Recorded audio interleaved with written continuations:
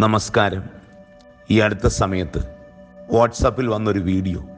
അത് നൽകുന്ന സന്ദേശം വളരെ ഹൃദ്യമാണ്. ഒരു വിവാഹ സദ്യയ്ക്ക് പ്രായാധിക്യമുള്ളൊരു പിതാവിനെ പന്തിയിലിരുത്തി മകൻ അടുത്തിരുന്ന് ചോറ് വാരി കൊടുക്കുന്ന മനോഹര രംഗം. ഓരോ കറികളും അത് കൊടുക്കേണ്ട സമയത്ത് ഭംഗിയായി അത് കുഴച്ച് ഉരുളയുരുട്ടി പിതാവിന് ആസ്വാദ്യകരമായ രീതിയിലാണ് മകൻ അത് ചെയ്യുന്നത്. അതൊരു ജോലി ചെയ്യുന്ന പോലെയല്ല. മറിച്ച് മകനിൽ നിന്ന് ഓരോ ഉരുളയ്ക്കൊപ്പവും സ്നേഹവും നന്മയും ഹൃദ്യതയും ആത്മാർത്ഥതയും ചേർന്നൊഴുകുകയായിരുന്നു. അതിന്റെ സുഗന്ധം കൊണ്ട് ആ കല്യാണപ്പന്തൽ മുഴുവൻ നിറഞ്ഞു. ഒരു കുഞ്ഞിന് ഭക്ഷണം വാരി കൊടുക്കുമ്പോൾ പുലർത്തേണ്ട എല്ലാ ശ്രദ്ധയും ആ അച്ഛന് ചോറ് വാരി കൊടുക്കുമ്പോൾ മകൻ കരുതുന്നുണ്ട്. വെള്ളം കൊടുക്കേണ്ട സമയത്ത് വെള്ളം പകരുന്നു. കുഞ്ഞിനെ എങ്ങനെ ശ്രദ്ധയോടെയാണോ നമ്മൾ ചേർത്ത് പിടിക്കുന്നത് അതിലേറെ ശ്രദ്ധയോടെയാണ് വാർദ്ധക്യത്തിന്റെ അനുഭവത്തിലൂടെ കടന്നു പോകുന്ന ആ അച്ഛനെ മകൻ ചേർത്ത് പിടിക്കുന്നത്. ഒത്തിരി പാഠങ്ങൾ അത് നമുക്ക് നൽകുന്നുണ്ട്. വാർദ്ധക്യം പുരയുടെ ഒരു മൂലയിൽ ഒതുങ്ങാനുള്ളതല്ല. അവരും സമൂഹത്തിന്റെ ഭാഗമാണ്. അവർക്കും ഇല്ലേ ഒരു മനസ്സ്? അവർക്കും ഇല്ലേ ചില സ്വപ്നങ്ങൾ? അതിനൊന്നും പ്രായമാകില്ല. വിവാഹത്തിന്റെയും സദ്യയുടെയും ഭാഗമാക്കി ആ മകൻ അച്ഛനെ ആക്കി തീർക്കുമ്പോൾ ഒരു വലിയ നന്മയാണ് നമുക്കവിടെ കാണുവാൻ കഴിയുന്നത്. ഒരിക്കൽ ഒമാനിലെ ഒരു ബീച്ചിൽ വെച്ച് കണ്ട കാഴ്ച ഇപ്പോഴും മനസ്സിൽ നിന്നും മാഞ്ഞിട്ടില്ല. ഒരു പാശ്ചാത്യ വിനോദ സംഘത്തിനൊപ്പം ഒരു വശം തളർന്ന ഭർത്താവിനെ വീൽ ചെയറിലിരുത്തി ആ ബീച്ചിലേക്ക് കൊണ്ടുവന്നിരിക്കുക ആ മനുഷ്യൻ വിടർന്ന കണ്ണുകളോടെ ആ കടലിന്റെ ഭംഗി ആസ്വദിച്ചിട്ട് ഭാര്യയെ നന്ദിയോടെ നോക്കുന്ന ഒരു രംഗമുണ്ട്. ഒരുപക്ഷെ ഏതെങ്കിലും ഒരു വീടിന്റെ കോണിൽ വീൽ ചെയറിലിരുത്തി അടച്ചിട്ടേക്കാവുന്ന ഒരു ജന്മത്തെയാണ് ആ സ്ത്രീ ഇച്ഛാശക്തിയോടെ സ്നേഹത്തോടെ നന്മയോടെ ആ ബീച്ചിലേക്ക് കൊണ്ടുവന്നിരിക്കുന്നത്. അത് എത്രയോ രാജ്യങ്ങൾ താണ്ടി ആ ഒരു ചാലഞ്ച് ആ ഒരു സ്നേഹം അവിടെയാണ് നന്മയുടെ മഴവില്ല് വിരിയുന്നത്. നമ്മളൊന്ന് സാവധാനം ചിന്തിച്ച്. എത്രയോ പേര് എത്രയോ വാർദ്ധക്യത്തിൽ കഴിയുന്നവർ നമ്മുടെ പുരയ്ക്കുള്ളിൽ കുടുങ്ങിക്കിടപ്പുണ്ട്. പ്രായമായ അവരുടെ മനസ്സ് നമുക്ക് കാണാൻ കഴിയുന്നില്ലല്ലോ. ഒരു വലിയ സാമൂഹ്യ പ്രതിബദ്ധതയാണ് നമ്മൾ അവിടെ ചെയ്യേണ്ടത്. വാർദ്ധക്യത്തിൽ കഴിയുന്ന പലരും വെളിച്ചം കാണുന്നത് എപ്പോഴാണെന്ന് ചോദിച്ചാൽ മരിച്ചു കഴിയുമ്പോൾ പത്രത്തിൽ കൊടുക്കുന്ന ഫോട്ടോയിലൂടെയാണ്. അല്ലെങ്കിൽ നാട്ടി വെക്കുന്ന ഫ്ലക്സിലൂടെയാണ്. ഇരുപത് കൊല്ലം വീടിന്റെ മൂലയിൽ കഴിഞ്ഞ ചാക്കോച്ചൻ മരണത്തിലൂടെയാണ് പ്രകാശിപ്പിക്കപ്പെടുന്നത്. ഒരുപക്ഷെ നമ്മുടെ ആചാരമനുസരിച്ച് നമുക്കറിയാം അവരെ മുഖം മൂടുന്നുണ്ട് തുണിയിട്ട്. എന്നാൽ ജീവിച്ചിരിക്കുമ്പോഴേ മുഖം മൂടപ്പെട്ടവരാണ് വീടിന്റെ മൂലയിൽ ഒതുക്കപ്പെട്ടവർ.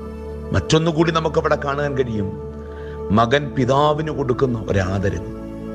അപ്പന്റെ കരമായിട്ടാണ് ആ ദൃശ്യങ്ങളിൽ മകൻ മാറുന്നത്. അപ്പന് മുണ്ടെടുത്തു കൊടുക്കുന്ന മകൻ. അപ്പന് ഭക്ഷണം കഴിഞ്ഞ് വെള്ളമൊഴിച്ചു കൊടുക്കുന്ന മകൻ.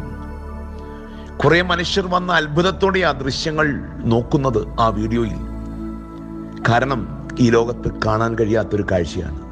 നമ്മുടെ വീട്ടിൽ പ്രായമായവരുണ്ടെങ്കിൽ.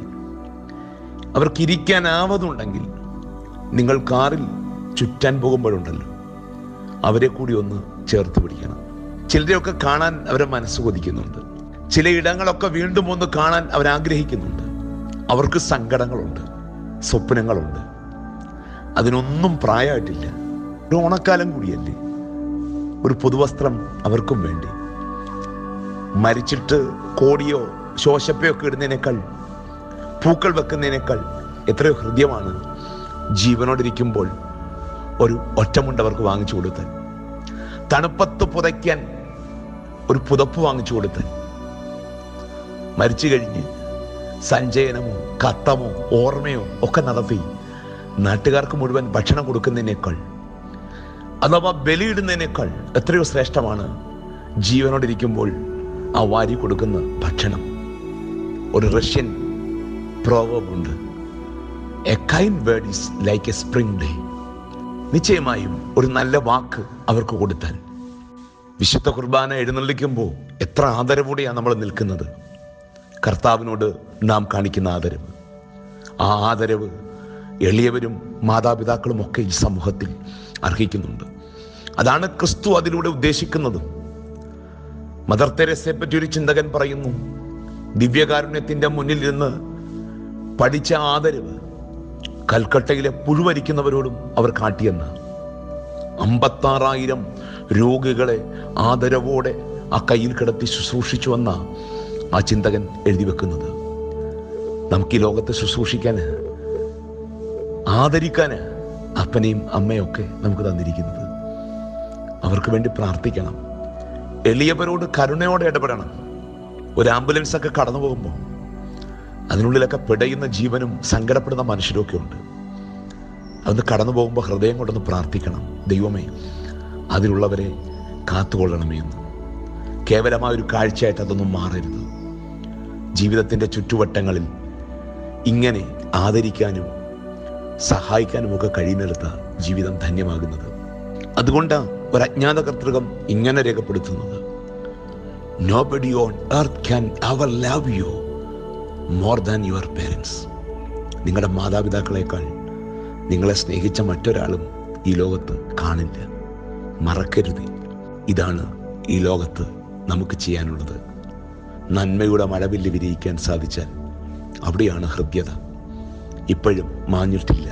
നന്മയുടെ ആ ചിത്രം മനസ്സിന്റെ അഭ്രമാളികളിൽ നിന്ന് കരുതലോടെ ആ സദ്യയിൽ ചേർത്ത് അച്ഛനെ പിടിക്കുന്ന മകൻ ഈ സമൂഹത്തിന് ഒരു വലിയ പാഠമായി തീരട്ടെ. ഫിലിപ്പർക്ക് എഴുതിയ ലേഖനം രണ്ടാം അധ്യായം മൂന്നാം വാക്യം. ഓരോരുത്തൻ സ്വന്തം ഗുണമല്ല മറ്റുള്ളവന്റെ ഗുണവും കൂടെ നോക്കണം. ദൈവം എല്ലാവരെയും അനുഗ്രഹിക്കട്ടെ.